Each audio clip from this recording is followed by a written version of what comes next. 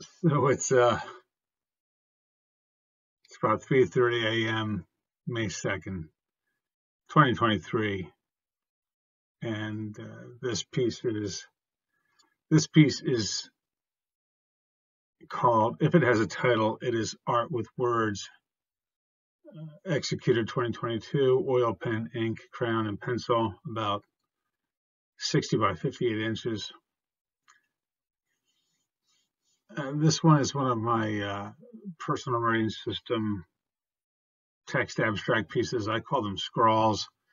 The painting, it's a complete text narrative, as they all are, uh, written in layers of my loose, fast handwriting as I go.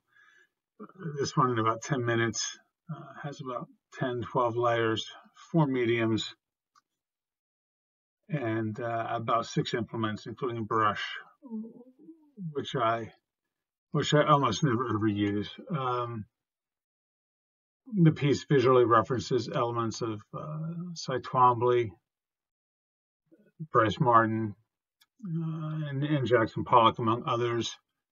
And substantively, it sets forth